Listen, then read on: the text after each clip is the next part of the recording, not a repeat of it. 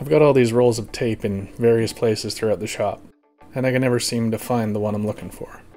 So I wanted to make something that would allow me to put some rolls of tape on the French cleat wall, and I came up with this design. I wanted to have something that can accommodate rolls of various widths, and it is easy to remove the tape roll from. Sometimes it's easier to have the roll in your hands while you're using it, so the dowel with these 3D printed ends makes it easy to remove and then put back on when you're done. If you want to take it down and put it on the table with you, then there are little rubber feet on the bottom so it doesn't slide around as much when you use it. My first attempt didn't have this notch in it for the tape cutter, so I 3D printed one and used some CA glue to attach it. But the latest version fits part of an old hacksaw blade perfectly. It's possible to make this entire thing from only 3D printed parts, like this one is, except for the dowel, but that could be 3D printed as well. The dowel is just stronger but it can also be made from other materials as well. I made the middle of this one with scrap plywood. And I tried to make the end covers from acrylic, but the stuff I have is 3 mil, and the Snapmaker is apparently only capable of cutting 2 mil with the laser. At least that's the max listed on their settings page. I first tried it on the acrylic set to its usual height from the workpiece, and that didn't even leave a mark. Then I moved it a lot closer and ended up scorching the acrylic. But it did seem to cut through in some places. I imagine with enough trial and error, I could maybe cut through 3 mil with the laser, but I haven't had any luck so far. If you've ever managed to cut 3 mil acrylic, please leave your tips and tricks in the comments below. Cutting with the laser wasn't working, so I tried the CNC machine. I was not too confident that this would work. And it didn't. The bits cut the acrylic well enough, but it gets hot and melts the acrylic and then the bit is too gummed up to continue.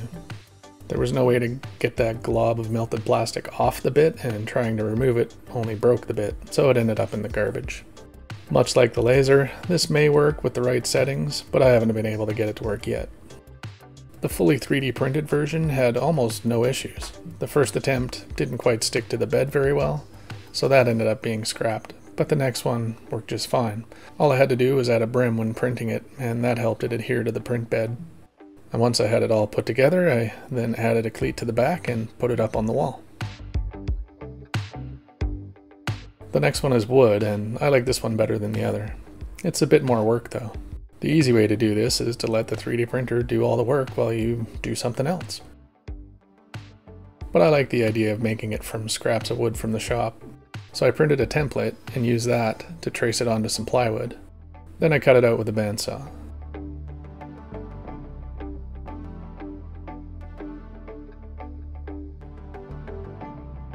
I just cut fairly close to the line because I'll use the router to trim it down after. The width of the duct tape that goes into this holder requires three layers of plywood, and I wanted them all to be exactly the same. So I taped the template to the rough cut piece with some double-sided tape, and then trim them all out on the router.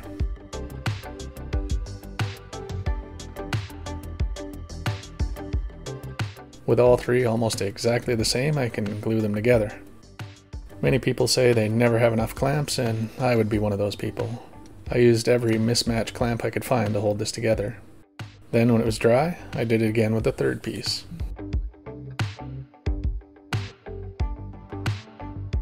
I let that sit overnight to dry and then came back the next day to smooth it all out with a belt sander.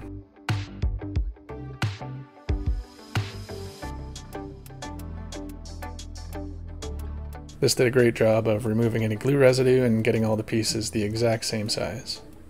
After printing another insert for the roll of tape, and then attaching the sides to the middle, I broke off a section of hacksaw blade and glued that on with some CA glue. For the finishing touch, I added some rubber feet to the bottom and then cut a cleat for the back. After the cleat was attached, it went up on the wall with the other one. Originally, the dowels weren't staying in as well as I'd hoped, so I 3D printed a few of these little rings that fit snugly on the ends of the dowel. Now the dowel stays put and the tape roll is easy to remove and replace. Having a cleat on the back allows me to put these wherever it makes the most sense at the time. I've added a few more French cleat walls around the shop, above the sanding station, and above the router and belt sander. If I need tape over there for any reason, then it's easy to move there. And I'm going to make several more of these and even design something similar for smaller rolls. And I'm going to figure out a good way to cut curves like this into plexiglass. I'd love to hear any suggestions, so please feel free to add them in the comments section. And if you like the video, please click the thumbs up and share it around. It really helps the channel. If you don't like the video, please let me know as well. I'm always open to a little constructive criticism. Click here to see more about the Snapmaker.